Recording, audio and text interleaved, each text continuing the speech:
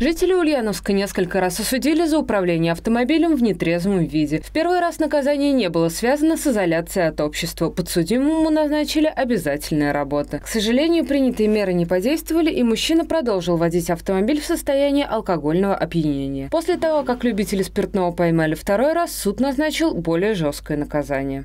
Ему было назначено наказание в виде двух лет лишения свободы с отбыванием наказания в колонии поселения и с лишением права заниматься деятельностью, связанной с управлением транспортными средствами.